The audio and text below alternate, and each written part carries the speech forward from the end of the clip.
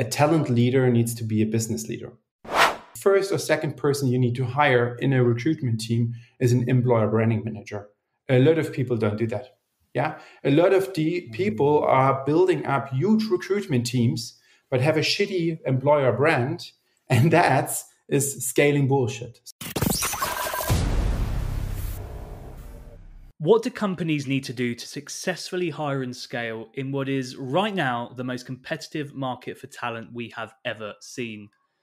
Well, luckily, Matthias Schmeißer has the answer to just that, and I was delighted to have him on the podcast today.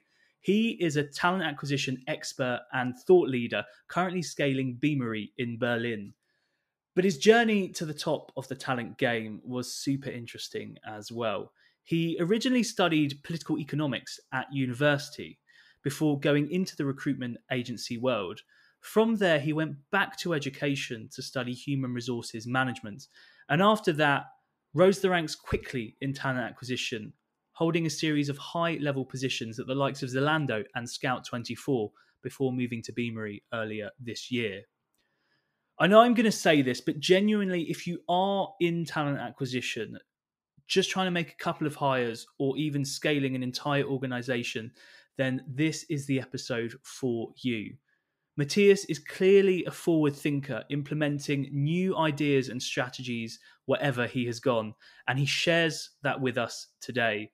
We go over things like how to actually assemble your talent team, employer branding, why diversity should be at the center of everything you do, and so much more as well. I got so much value from speaking with him. And I know that if you are in the TA world, you will get some from this too. So, without further ado, I'm Alex Bloisey, and this is the Building Our World podcast.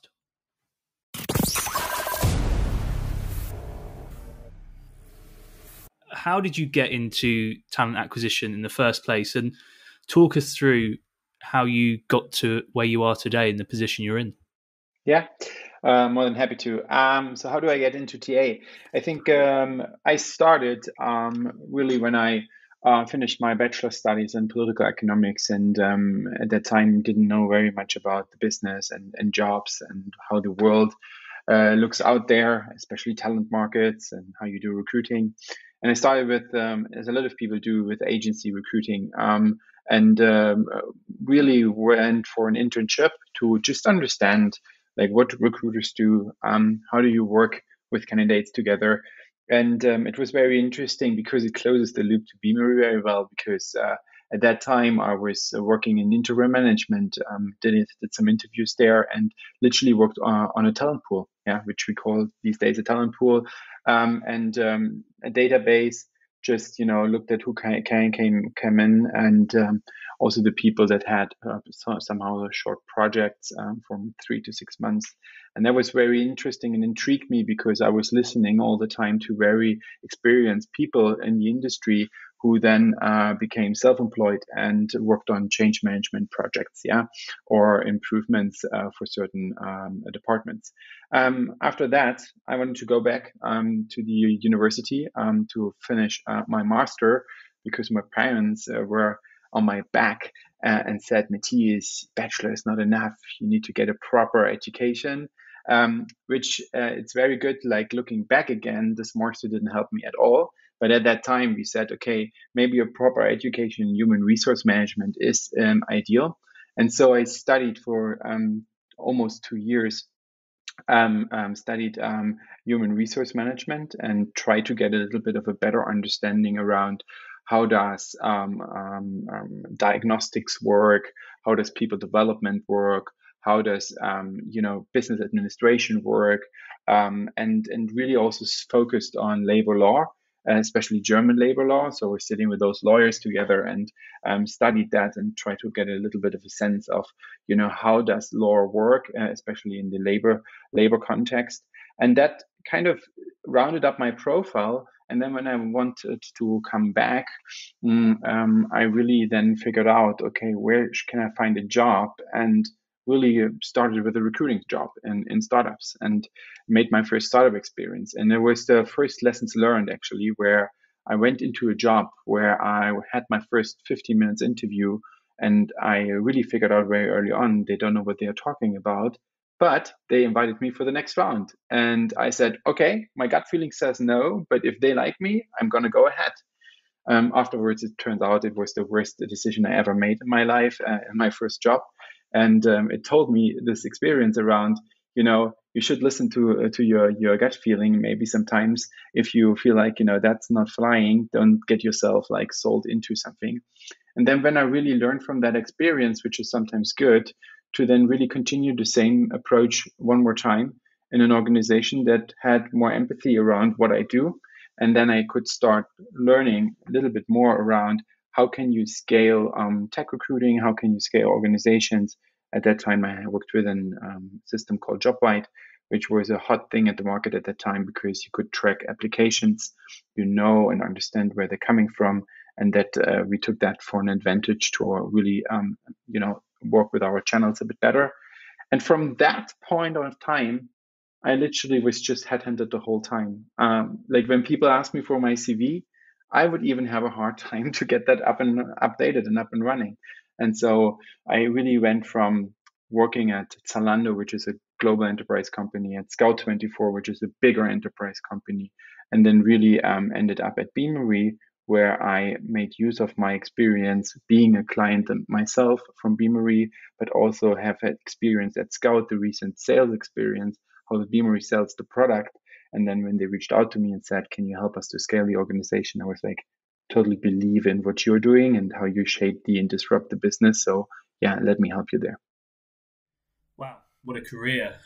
You've risen quickly through the ranks in talent acquisition.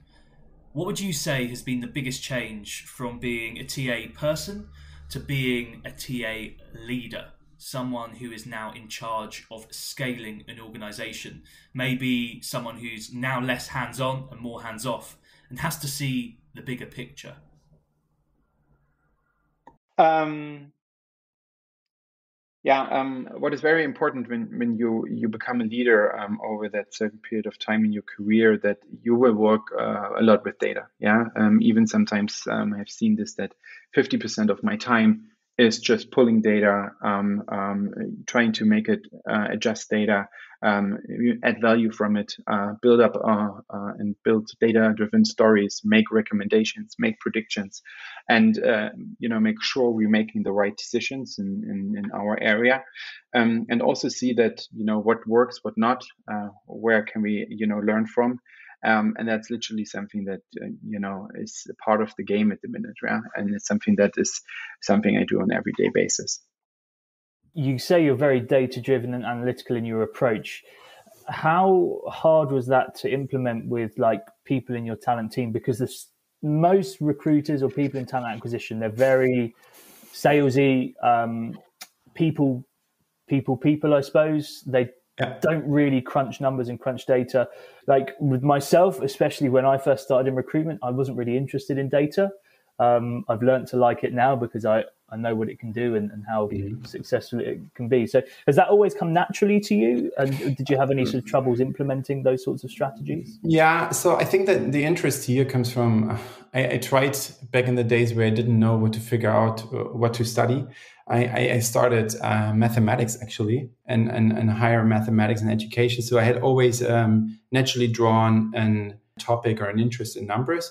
But really, when I was as a recruiter and when I came in there, I think what I learned back then and something I would encourage, uh, especially young recruiters, to do most of the time is I was in an, a classified business, in a performance marketing business where conversion rates, where um, where are our channels, how are they working out, was their daily in and out business. So if you start working with those people together and try to learn what they do in terms of optimizing success and um, having business impact, you can learn very much, very much uh, from uh, from your own practices. And this is how I how I did this. So um, I was then really in this era of like, um, okay, we have an ATS, we know where our candidates come from. So how do we optimize this? How do we make it work? When do we when do we start, you know, putting money into channels?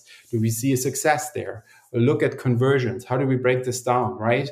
And I think, um, especially one of my former leaders who was um, an interim leader back then um, at Zalando, but he had a Google um, history for five years, worked at Google, has seen it all. He said, when you just look every week on your numbers, on your funnel, on your pipeline, and try to optimize accordingly, you will be very successful. Yeah, it's a numbers game. And um, the more you mature in your career, the more you will see if you have the right numbers in place, also executives will listen to you. Also, the people that say, okay, is it like 50 or 100K? Well, show me the numbers. Okay, that makes sense. Okay, let's do it, right? And that is where you add value because I think we're in a space where there is still a lot of opinionated conversations, a lot of like, oh, this is a gut feeling. Oh, the weather, uh, you know, is bad. That's why recruiting sucks, right? So literally what I'm what I'm trying to say here is the more data you bring to the table, the more you get taken seriously and the more you can have impact and also show what works, right? So and so many times people don't know. It's a black box for them. They don't have a clue. And if you are capable to show the right data to the right people and then explain and have a storytelling approach around it, this is where you can succeed or will succeed. Okay. Can you can you think of any examples where you've um, taken some data, you had the data points, and it's just you've gone, you've analysed it, you've presented it, and you thought, wow, this is really yeah. helped us, and it's going to help us. And is there anything that other people could could take away from that? Yeah, no, hundred percent. I mean, for example, what we did within with Jobvite back then, very very fast example, but I still have this so much in my mind. Is like we did a referral um, uh, competition um, with uh, with the business and said, you know what, we have hard to fill roles here. Um, here are the tracking links. Please share it in your networks. Um, and somebody managed, and we looked at the reporting. We, we the competition took like three or four weeks, and then we saw somebody you know who created the most leads and who actually were successful and we really hired someone. And there was someone because back then it was a classified in berlin means that we needed to hire a brazilian um, candidate for the brazilian market that is located in berlin. So it's not so easy to find. Um, and somebody created like 50 applications and we hired in the end one person and we were like what are you doing where did you put this and I mean, as I said, right, it was a performance marketing company. So what they did, they put this in one of the Facebook groups, shared it, and a lot of people applied there. And it really worked. So that opened my eyes in terms of, you know, we're always thinking job boards. We're always thinking like, okay, free job boards, paid job boards, what is it? But literally, it's the communities, the groups that are actually much more powerful than anything else. So that that was one key takeaway. If I can take another, is think about when you have the funnel over the year and you see how much interviews do we do yeah first round second round third round however how many pro- uh, steps you have and then really calculate of like if i can give the cto the cmo this you know cco whatever it is so and so many hours time back if we implement a tool or if we change a certain mechanism within the system then they are listening, right? If I, for example, at that use case that I had with Scout, I said, I can give you 800 hours of your engineer time back for product development. Are you interested to hear me out? Um, and are you willing to invest for like 20K? Et voila. Yeah, 800 hours is a lot. Huh? Yeah. Awesome. I, I, wanted to bring it now to present day. Uh, you joined Beamery at the start of the year. Um, I know they're pretty much, I think they're, they're headquartered in London. Is that right? Um, yeah. And recently announced that they are building a uh, Berlin hub, uh, which makes sense why you joined there. um, if there's anyone who's going to take care of that, it's going to be you. So, obviously, 2021 for Berlin tech hiring, tech hiring globally has been off the chart, completely unexpected. Like the snapback from COVID has been crazy everyone's going through the same pains. You are now tasked with building this hub in the toughest, most competitive market. Um, and I really want to dig into different aspects of that. But the first thing I wanted to, to put across is I'm guessing you're assembling your own talent team. And I want to see not so much how you're going about it, but how do you know how many people you need uh, in your talent team? Uh, and then how are you finding these people? Because everyone I speak to, all my clients are like, okay, we need talent, we actually need talent acquisition managers. The amount of times my clients try to poach me because they just run out of ideas. Um, so I'd love to get your your insights into how you're building the talent team to take on this this huge challenge. Oh yeah, I love that question already, Alex. Um, so here's the here's the deal. I think um, it's a very important question, and I think a lot of people do it wrong. Um, what how I built this is pretty much let's start off with this sentence of saying a talent leader needs to be a business leader. Why do I say that? Is because everything that I build, everything that I build needs to be sustainable and needs to make sense. So, for example, over hiring my team just because we have a hiring problem for the next three months or six months, um, and then letting people go after a year or year and a half just because I did didn't do the math correctly is is actually unhealthy, right? So what we are doing at the minute, and that's a common sense scenario, but there's a lot of talks in the global talent scene around it, is like when you're asked what is the optimal rec load of a recruiter, um, a lot of people would probably say it depends, right? And it's it's true. Mm. The answer is it depends. But in the end of the day, it's like um, you need to understand what kind of organization you have, what kind of auditing are you doing. Yeah. So you need to understand how is your employer brand. Yeah. You need to understand, you know, how much do we need to hire? What is the hiring need? You need to understand how are we retaining people? So how much backfill is there or not, right? And then you need to understand what is the situation? What is the situation within? A lot of people uh, don't do that because what I mean with the situation in, in um, within is what are the career paths for those people that come in, right? What kind of hiring managers do they have in front of us? Yeah, so it could be very particular based on that different department, very strong leaders, very opinionated leaders, very demanding but still very collaborative leaders. It really, really depends what kind of situation you have there.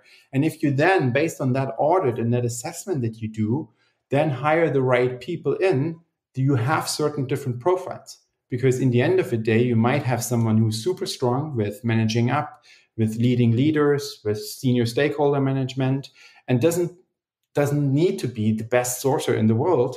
But if he has handled that noise internally, he will be successful, more successful when you then look at you know other functions. So, but I now want to uh, you know really talk about the structure mm. of it yeah. So I think what you really need to do is, and especially we did this at Beamery, and I'm very happy about it, is from day one on, the first or second person you need to hire in a recruitment team is an employer branding manager. A lot of people don't do that. Yeah. A lot of the people are building up huge recruitment teams, but have a shitty employer brand. And that's is scaling bullshit. Sorry for that, right? But I think it is definitely something where you need to work on that and get an understanding. This is a brand awareness, especially for tech organizations, startups, scale ups. It's a brand awareness challenge, as well as it is a talent marketing or recruitment marketing um, um, challenge where you build leads for your recruiters, right? Because what you optimize in the very beginning is increasing the response rates of in-mails based on the brand awareness and the recruitment marketing that you create. So if you don't do that from the very beginning, you're set up on a wrong track. Another thing that I would highly recommend, and it's a well read concept around the world, but especially in Berlin, I haven't seen so many people, a couple of do it, but uh, not so many people do it, is talent ops. So this whole op- topic around you see this in product organizations you see this in design organizations as well engineers as well you know dev devops um, uh, platform sres um, especially design ops and, and product ops is also very common. But what they have in mind is to be really back to the basics is I need somebody in the team that actually cares about the productivity of my recruiters. And why I say that is this mindset of what kind of tooling do we need to be successful? And if you don't have a person that works 24 7 on that topic of how do I optimize the productivity of my recruiters, I think you set up for failure as well because at the minute, and we are not talking about headcount yet, we are just talking about mm. what kind of people I need in my team. Yeah. This is something that is key because technology will help you, will help you to automate administrative topics, will help you to be faster in what you do in terms of sourcing approaches, and can even help you with a certain assessment support. I'm not saying they make the decisions for you, but they support you in your assessment that will help you to, you know, be better and give you more data points. And so all of that, I think, is something that you need to think about. Now I come back to your original question. How do you build your team and how many people do you need? I think you need to separate this between seniority levels, junior, mid-level, senior, and then talent leads. Um, and there you will probably say, given of the environment that could differ, I would expect the junior recruiter to deliver between 30 to 40 roles, um, hires, sorry, hires per year. Um, I would go for a, a mid-level recruiter with 40 to 50 hires and a senior with 50 to 60 or, or even on top 70 and then the talent lead, and don't make this mistake, they also can be hands on and operate and hire, but they shouldn't have those same numbers because what mm-hmm. their focus is, is actually to empower, to grow, to lead people, right? Um, and probably have the senior arm leadership in place. So, all in all, this is how I would set it up. These are the criteria I would look at, and these are the numbers that roughly I would put in place. But of course, don't quote me on that because that's maybe now the Beamery situation. It could look like for a more established organization that has a strong employer brand, that has already a, a bigger team, completely different when it comes to hires versus um, mm. recruiters there. Yeah. Um, but that's how I would build it. Absolutely. Wow. Well, there you have it. Uh, I completely agree in terms of your employer brand approach first, because the thing that takes the longest is brand uh, when I started my business last year, I knew that you have to start the branding from day one, the marketing, the content, because um, it's an engine, isn't it? It's an engine. You can't stop and start it. It's an engine that has to run and it has to run for you um, all the time. And that work you do now, you get recruiters or talent people coming into your team. It just makes their job so much easier. And uh, yeah, you're quite right about talent leads needing to be um, fairly hands off. I have the same um, debates with people about engineering managers in tech. Yeah. There's that sort of analogy. It's an analogy I heard the other day, and um, I keep using it because I think it's so great. It's just that you can't see the whole chessboard if you're one of the pieces. Yeah, uh, you have to be you have to be above it, and um, I think there's an element of, of trust as well within within your team mm-hmm. too. That's that's needed. And um, if you think about it like that, also the talent leaders should be the one because you asked also the other question around you know how do you find recruiters right? How do you hire mm-hmm. them right? That's that's a big problem. And one of the things is what i've seen especially in the situation we are in right now if you have a personal brand if you have a certain community behind you and those leaders would have that as well these are the ones that are recruiting for their teams. So you need to look at like how established someone is and don't only just look at hmm, you know what? Can they do the job? Have they had a lot of experience? It's more about are they pretty vocal in the community? You know, what do they stand for? What kind of talks they give? Are they inspiring? Would other people follow them because they believe if I'm, you know, working under Matthias for two years, I can learn a thing or two. That's more exciting than going somewhere else where I get more money but don't learn yeah. a thing, right? And I think um, this brings me back to the overall situation of the talent market. I think a lot of people are so much driven by salary and joining for the wrong reasons in the organization, which I don't think is healthy and sustainable. Yes, it is good to make, you know, maybe on a short term to double their salary or, you know, get a little bit of a boost. But on a long term um, perspective, I think, you know, what always people told me in my career is don't look so much on the money. Look and look at what you can learn and what you can get with and I think the Zalando example is great because um, there was a time where at Zalando, literally everybody was like, recruiter at Zalando, you can walk over water, right? Because literally everybody would say, you understand how you scale, you don't understand how hypergrowth works, so we'll hi- hire you blindly. But actually, that is so wrong, right? Because it's literally saying, or it's very biased to say, oh, you worked at Google or Facebook, you must be great, right? You you you are the best. And so, so many times we know that's not the case, right? Um, so a little hint for people who look for recruiters, don't look at the big names, look at the little names that still manage and do that job very well with having no brand at all because they do a much better and a much harder job than all on the big ones that have that brand and that have that certain technology because that is then also a challenge but not as of a challenge as they would have uh, if they wouldn't have all of those goodies yeah that we talked about mm. so have you started to um, add people into your team now How, how's that looking is it like an ongoing process yeah it's an ongoing process but i have to say and and that's probably me i don't know but um I actually find it not that difficult. Um, uh, I have good conversations. Um, and I have to say, what is for me maybe also something that not so many people think about is I always try to put the resume away. You know, I look at the resume, say, yeah, could we talk to them? Yeah, looks interesting. But then I completely dismiss that resume and only look at the conversations I have with people. And you will figure out if you do ask the right questions, how many transferable skills do people have to actually do that job, right? And I think we uh, don't do this very often that we hire completely different profiles into our teams. Whereas the complexity that we have, that we are confronted with, actually mm-hmm. needs that different skill set, that different profile, that different perspective. And if we don't do that, we're actually starting, for example, the diversity topic is very interesting. We are confronted to hire diverse people, diversify organizations, but how diverse is our talent team most of the time? It's not diverse, right? So we already fail by our own team to diversify our own team. And therefore, and when I say diversify, I mean all different topics age, you know, ethnicity, um, um, uh, gender, you know, there's so many more disabilities. I think you can really, if you do this very well, you can, a diverse team is always harder to work with, but it's more effective and more successful, right? When it comes to the knowledge work that we need to do in, um, uh, as recruiters these days. So I, I think, you know, when you really want to take this seriously, you as a talent leader should start um, by leading by example and start diversify your team from the very beginning. Absolutely.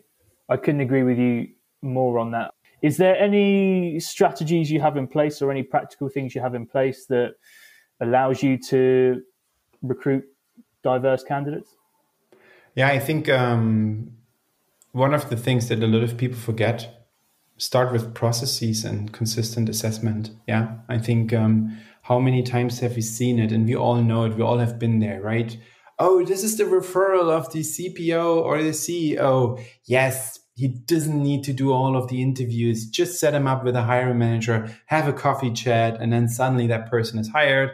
And suddenly, you know, oh, that's the white classical male with the higher education access, etc., etc. Mm-hmm. I mean, I think by by now, by all, all all all fairness, I have to say, in every organization I have been there, I have seen such shortcuts. So um, it starts with really, you know, in the end of the day, as an assessment process, it's literally what I always say. If you think about talent acquisition or um, your practices as a product, it's all about this uh, information architecture that you have around you. And it starts with content, that's like the employer branding side, but it's also starting with assessment practices, right? Um, and here, really, to understand how can you fairly and consistently ask the same questions in the same order and really make this an appealing and a fair uh, process is the first start to get you know uh, a fair playground. Then the second one is really how transparent am i in front of candidates to level the the, the playground in terms of oh you know my hiring manager has all of those interview guidelines but the candidate doesn't know anything about this interview, right? So, how much are you transparent around this is our assessment approach? This is what happens in the first round. This is what happens in the second round. A lot of people don't do this. Um, and that literally puts them, those ta- candidates in general, but especially diverse talents, um, uh, in, a, in a bad position because you already discriminate them because the one has more information than the other and therefore, it's literally like a power play scenario. And then last but not least, I think coming back to um, employer branding is how per default, I think it's super interesting with this DNI approach is we are talking about it, but actually, per definition, everything we do should be, you know, DNI ready. So um, there should be different people in pictures. The, the, the, the language should be more inclusive. Um, the practices, everything we do should be actually already best practices. Because then, if that is happening, we don't talk about DNI anymore. We talk about everybody gets a fair yeah. chance, and if Just you can the default, this, default exactly. setting, isn't it? Yeah, yeah, yeah, yeah. And um, and it actually is that weak spot where we say, well, for the first time, because of DNI, we are getting into our processes that are set up for failure, that are broken, that are not actually adding value. And you can clearly see in Berlin, especially, it's also a topic in Berlin. It's like, don't believe this is the most diverse place and the most diverse hiring um, um, um, um, space that you have seen before. Yeah, Berlin itself as a as a as a as a, as a, as a city is very diverse, but the organizations aren't right, especially director level, team lead level, um, C level. There are lots of lots of white male uh, boys club that actually is running those very successful companies, right? Sometimes. And you need yeah. to be aware of that. And I think sometimes we forget because we see on the street a very diverse, colorful, you know, uh, people and believe that everything is exactly the same. But it, it literally starts with, oh, you don't know the market, or oh, you're relocating here. Hmm, I don't know. I don't know if I can hire you. Or, you know, especially with talent teams or HR teams. Oh, you don't know labor law, the German labor law. Oh, well, then mm, I don't know, right? Um, and so I think, you know, last tip from my side, also look at um, language, right? So um, if there's a German ad out there and you are forced to talk in German in a German company, well, then it's probably as an international not the best place to go here and be there because everything will be in German, every documentation will be in German. So really look at like what is their culture? Are they talking English? Do they have to talk English or is this per, per default? And I think a lot of scale ups, especially like Zalando, for example, this was all of per default, right? I, I really love the love the way of saying when you and me would be in a meeting room, we would talk English. If I have a German colleague coming in, you're not being in the meeting room, I'm just alone with my German colleague. Of course, we can then talk German, right? But in the end of the day, always being yeah. aware that we use the right language for the right people are in the room. And so many people and organizations get this wrong. Paris, Berlin, other people, they suddenly switch to French, they suddenly stay in German, and it's very exclusive. Yeah. One big thing that obviously I recruit software engineers, and if I speak to someone from a company in Berlin, there's quite a few times where they've just said, company's great, culture's great, but in my specific team, there's you know four people of the same nationality, uh, and they obviously all speak in their, their, native language, and kind of just feel a bit left out. Even if yeah. it's just like just leaning over your desk and, and asking for something, um, or just saying one thing, it, it, can make a huge impact and really exclude people very quickly. Yeah, hundred percent. And then look at interview panels, right? Yeah. How how non-diverse are interview panels these days? It's a mess. It's a mess, yeah. right? Um, so it really, really starts um, from you know setting everything up for success by understanding who is interviewing whom and in which way, and you know have that processes in place. Um, because when you bring diverse talents in and you don't get there get this all taken care of, you will already lose them in the in the process, right? Mm. Mm, absolutely. Interesting what you say about C level. When I started this podcast, so originally I just wanted to yeah. speak to founders because yeah. I just started my business and just wanted to steal some knowledge really. Yeah. Um, and had some great conversations. Really great, amazing people done great stuff. Um, but it got to like episode six, and I was like, I have spoken to a white male in their 30s or 40s for the past six weeks. I need to probably mix it up. yeah, 100%. 100%. And I mean, look at us, right? I think in the end of the day, um, what I take, if you are aware of what I learned as well, if you are aware of your privileges, of your privileges that you have earned, that's mm. the first step, or you didn't earn. Yeah, privileges are always not earned, right? Yeah. They are just given based on, on on where you have grown into. But then, if you are aware of this, this is the first step, and then the second step is really, you know, how do we make sure that um, we, as white men, drive diversity forward, right? Because it shouldn't only be the people that are diverse to drive diversity forward. It should also be us who are encouraging that, right? 100%, yeah. And and I think so and so many times. I mean, there's an interesting uh, theory. I don't know if you've heard of it. It's not probably not even a theory. It's it's, it's practice, but I wouldn't call the study yet uh, from the top of my head. But they're saying this topic around everybody is, especially in Berlin, gender diversity. Gender diversity is big, you know. Sometimes it's even so noisy that people believe that gender diversity is diversity, which it's not, right? But a lot of people believe if I have female leaders in my organization, they will help to encourage other female um, colleagues um, to grow as well. But studies have shown that's not the case, right? Um, and I think, don't think a lot of people are aware of that because they believe the more and more I increase my female leadership in an organization, I will help women per default in that organization. But that's not happening. And the reason why that is, I think, is, you know, those women have learned to see these elite structures and learn from them and adjust it. Yeah. Mm. And therefore adapt the same behaviors that made them successful because in the end we are human beings right? We adjust yeah. to our culture our society and then based on that we adapt because that helped us there. And now to really then change that mentality is also something that i would say everyone should question themselves diverse or non-diverse how inclusive their practices are right? Because so and so many times this is like per default in our bias to say no it oh, makes yeah, sense 100%. women leaders you know and then a lot of more women yeah sure let's do that right um, and um, yeah decision making is uh, probably also another topic where you can talk about ours around how we as human beings make decisions based on emotions you know facts etc etc yeah, it, it really is a fascinating topic, and it's it's a topic that a lot of people didn't even know existed. It just opens up a whole yeah. host of things and you question everything and, and, you see things so differently and rightly so as well. Um, i do think on the whole like berlin tech is pretty advanced in, in that field in terms of practices. I think tech in general is mm-hmm. quite progressive. Yeah. Uh, there's still obviously a, a, hell of a lot to to go.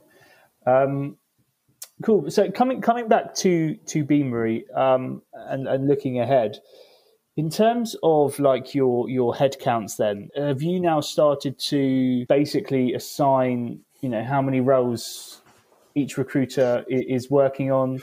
You've got the sort of branding in place, the diversity stuff as default as you can.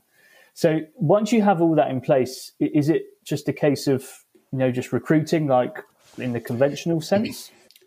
Um, I hope not. Um, I think there are a couple of things that you know given our our beamery product right which is um, um, literally a sourcing tool um, especially mm. for sourcers this makes more sense than maybe for recruiters but let's let's keep that away i think it, the whole concept is around building communities building pools and leverage them uh, leverage them over a certain period of time have um, nurturing and engagement strategies to use those pooling and then bring them uh, along and um, if you think about that, I think um, I think that's the way going forward.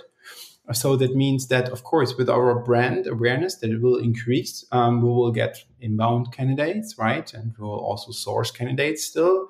But I think what really, really matters is um, the community approach, uh, and the community approach in terms of, um, and that's also, by the way, an employer branding task. Is like, how do I understand where my key target um, uh, talents are? What are they doing you know building personas really trying to understand their behaviors a bit better and then working your strategy towards this by look at for example stack overflow. Everybody knows stack overflow. Have you seen mm-hmm. what happened with them now right?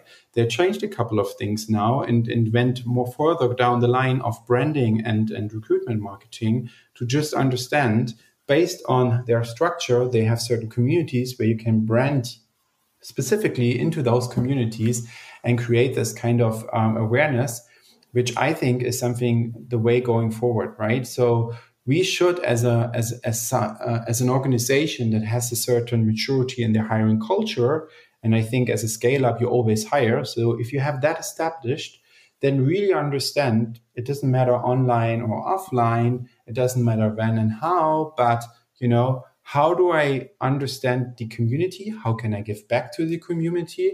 And not always having in mind, I need to hire someone, right? But really trying to be giving back to the community, supporting certain initiatives, and then really stood out by creating learning momentums for people.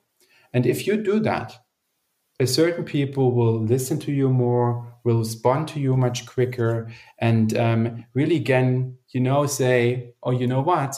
Even if I'm not looking, but I know Matthias helped me, you know, a year, year ago, I will definitely listen to him, right? Mm. And I think that is then something where it opens up a, a different level of recruiting. I always talk about talent advisory, but I think in the end of the day, it's really helping certain talents to build their careers and to become stronger. And if you have that reputation and that expertise, it will open you a lot of doors. And then it's not so much about how how how often have I posted my jobs on LinkedIn or wherever? Yeah. Because you will build those communities that will always follow you around because of the way you have acted and interacted with them and therefore it makes you that expert where a lot of people would then say in that specific area tech recruiting or even commercial recruiting or whatever it is hey he is somebody who can explain and help people to build careers in that area that's why i hire that person superb but from a i'm guessing it's probably a plug for, for beamery's software as well but like practically speaking, the nuts and bolts yeah. of it uh, on the day to day, how are you going about actually building this community? In like, what sort of, where are you going to get them? What platforms are you using to, to yeah. nurture them? I'm guessing I know your answer, but it'd be good if you could just expand a bit into the detail of that. Yeah, yeah, no, sure, hundred percent. So think a little about. So we did. I will work with examples, right? Because it's you know gives uh, people practical um, uh, cases here. So we just just recently um, with a with a platform called Hired um, a coding challenge. So we, we set up a coding challenge and said, okay, well, you know, burst this out, praise this, you know, in the community, uh, advocate for it, and then with such a challenge, created a healthy pipeline. People took the advantage, participated in it, got a little prize on top, and then you really could then nurture this and said, well, we had I don't know, 10,000, 15,000 engineers have seen that. And in the end, we got 40 or 50, which then helps me to say, hey, are you interested? Yes, I would love to explore the opportunity. Hey, actually want to stay in touch with a talent community, right? So you do certain actions, initiatives, which is a coding challenge, which is a webinar, which is a roundtable, which is, hey, this is a recent update, a blog post around it, where you make people excited about what you do. And then the Beamery functionality comes in is, of course, when you're nurturing people, hmm. don't just be this a one off, right? Because you then make a monthly newsletter on it, say, hey, that's interesting stuff. Just make sure that you are aligned with the interest of your, your stakeholders. And then by nurturing this, you create your own job platform, you create your own job board, you create your own network around that. And that makes people click on that. And that will then decide us to say, these four or five people we nurtured from those communities, right? So for us, and important now for the Berlin cases, what are the communities that we want to be part of? Where do we want to be present? If we know where we want to be present, then what kind of good conversations and learnings and items and what kind of things we can give back to the community where we're not just only do hiring, but literally doing the opportunity to be friendly and welcoming and also open because then the multiplicator effect comes in where people talk about it and say, ah, a friend of a friend, actually, I know that is somebody interesting, right? So, um, and then of course work with the with the local heroes together. Um, and I'm not saying you know don't work with agencies. Yes, of course, also work with agencies together, right? And just figure mm-hmm. out what is it that we can do, and how can we then strategically make decisions around. For example, we have a senior engineer director role out at the minute um, great opportunity to diversify your engineer leadership team, right? Mm. And a lot of people are then always like, oh yeah, and then look at the inbound and 80% male and you know the classic profile, and you'd be like, yeah, wait, wait a minute. you know, we shouldn't waste that opportunity. So let's just make everything that we possibly can to, you know, diversify that a bit more, right? And um, uh, what I learned over the years is um, you don't get so many opportunities to diversify leadership culture because you don't have like 15 20 30 40 100 roles out there every year right yeah. so you need to be mindful around oh is it really about speed or is there an opportunity that has actually more impact because ideally in my mind the berlin tech hub should be the most diverse tech hub that there is that would be yeah. my ideal scenario right and um, to work with that, um, I try to make everything happen that you know um, comes in my way to to actually strengthen that. Hmm.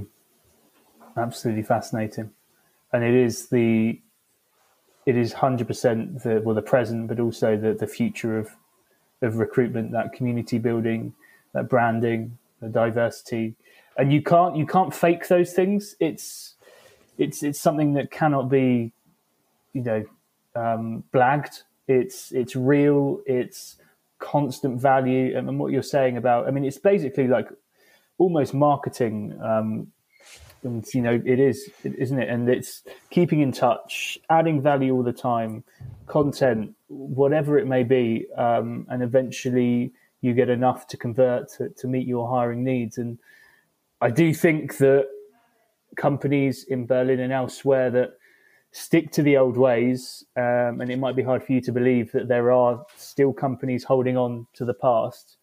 Um, they're starting to get left behind now, but I think yeah, it's, it's, just going to be a disaster. hundred percent. But then also, I think you know that change process. I think uh, I just talked to a friend of mine um, yesterday, and I think um, one of the things when whenever you come in in a position like me, uh, we see that why they hire people like me is because something's not working, right? Or there is a problem, right? And it gets harder and harder these days to do those change management processes because, in the end of the day, it's not a recruiting problem; it's a culture problem, it's a leadership problem. It's uh, it's something that is um, underneath your actual challenge of just hiring or scaling hiring, right? And in recruitment, you always see this that within recruitment, so many things will be uncovered around the current status quo of this company. And so most of the times you don't see that, right? And it starts also with decision making, right? And if you then come in uh, and really turn this around, it's a lot, a lot of work, right? Yeah. And I think that's something where I would recommend to all of the younger teams, no, not younger teams, that's the wrong term, all of the younger organizations, yeah, who are out there a year or two or three already try to start to set up um, processes and, and, and, and a certain foundation because that foundation will help you to scale easier and will shape a company where you don't have to change the process all over again because you realized after way too late time that oh the culture is not right or the people are not right they cannot do that etc etc right? So changing it in the very early stage will get will go first of all much faster, but at the second hand will also be much more successful because scaling for me it's more about the approach, not the problem. So scaling is fine. That's not the problem. The approach is what is so problematic and so painful for a lot of people because they don't focus around foundation and setups of teams or haven't even forgotten that with 300 openings, we have just three recruiters. Well, guess that's not going to fly, right? Uh, everybody mm. could tell you that. And yeah, I think that is something where, you know, if they have that mindset and understand very early on in which situation am I and what are the next steps, you know, then even interim people, you know, as I said in the beginning, people who are just, you know, coming in have seen it quite often could just advise people to come up with a solid strategy because that will give you 50% of all the pain away if you have a solid strategy mm. and plan in, in hand. But and don't yeah sorry. No, sorry to sorry to cut in but do you get much pushback when you if you come into an organization or you have all these initiatives? Because it's like talent people that we're judged on hires right? So it's and if you're implementing something and all the stuff you've mentioned it takes time to get tangible results and people outside the function they just want to see people signing they want to know you know when someone's starting so have you ever had much pushback with that? Have you had to sort of say to people, you know, it's going to take time? I have pushback all the time. Yeah, I think um, uh, I, I, I, cannot imagine where somebody said, "Oh, Matthias, you're here. You're three uh, three million euros. Let's go um, and see you later." Um, no, I think it's um, part of this is pretty much of when you look at organizations, and no matter how big the pain is, right? You will have um, a lot of organizations that have short term business needs, right? So it's like our roles are not filled. You know, um, I feel like um, um, the recruiters are not doing a good job because there's no transparency around it, et cetera, et cetera. And then when you fix that, uh, these uh, topics first, you can create some quick wins, and you understand as a talent leader is like where I can get my quick wins, what is taking longer, and then where should I start, right? Because as you said correctly, if um, I actually need to start from day one on building employer brand but if people don't understand what employer brand means or believe that the marketing team can do employer brand as well, then this is already a structural problem, right? Um, and so um, for for a lot of CEOs, that's very interesting, by the way, is the C level needs talent people because they understand the pain. They understand we need to hire, we need to retain talent, right? We need to have a strategy in place. Now, with the buy-in of the C level, yeah, or the executives, this will help you to open a lot of doors if people don't buy into your plan. And I'm not saying you should always say, well, then my CEO comes along and we have that conversation with him. Uh, that's not what I'm re- suggesting, but definitely the buy in will help you. The sponsorship will help you to get visibility in the organization to drive that change momentum. And I think that is then something which you can use but you need to make sure that in your first job, when you come in as a talent leader, what you need to do is you need to say, well, can I create that buy in? Can I convince them of what I need to do? And if you're more experienced, you will understand and tell them right in the first session that you have with them. There will be people that would not like that change a lot. They will be against me you need to have my back. I need to trust you that you help me out of that situation if I do what I need to do. And if you have that, then you create more impact faster. Absolutely. Is there, because I appreciate someone like yourself can probably get that buy in because of what you've done and your record. Do you, there's the old adage that, you know, just go to the board with some data and you'll get them to agree with you. Do you, do you find that you, you have to, you know, have a good amount of data to back your points up? Yes, 100%. You always need data. Um, and um, that's the pain part of it, right? Is a lot of times, even in my role, you would not imagine that 50% of my job is just pulling data and manipulate, manipulating data in a way that it makes sense to present to people to understand what I'm trying to say. Um, and that's that's part of the success so you need to understand that this is where the technology part comes in and, and and the way to succeed here is if you understand how you get from technology the right data set and understand the data infrastructure where this is coming from then you can pull your own reports and can build it and customize it in a way that you say this is a solid report. This is where this is coming from. This is how it how it worked.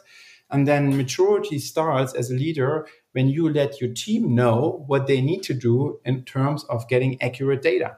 Yeah, because in the end of the day, the more accurate your data is, the better you make decisions that are in your favor, and therefore you can really help organizations.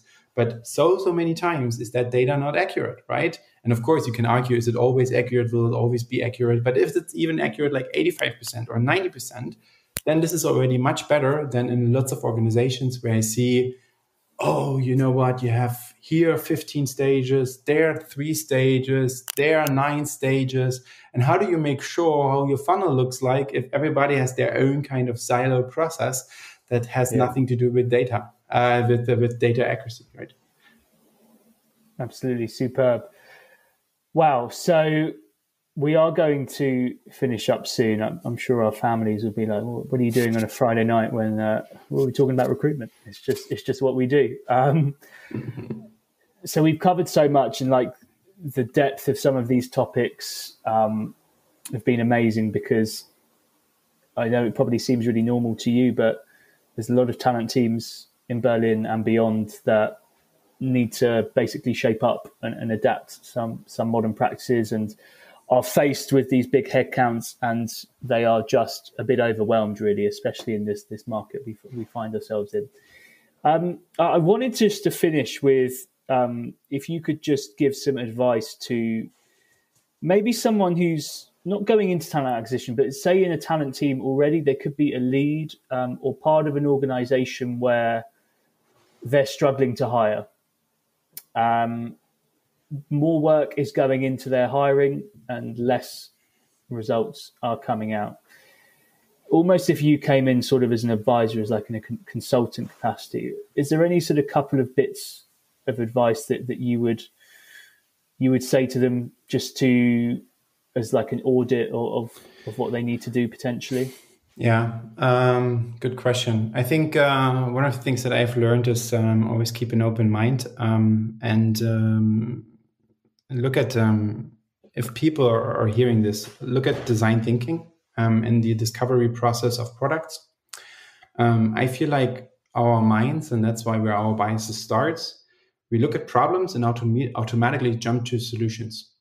in your environment that you're in at the moment with that problem that you have, um, you probably, um, I would say, are already biased, right?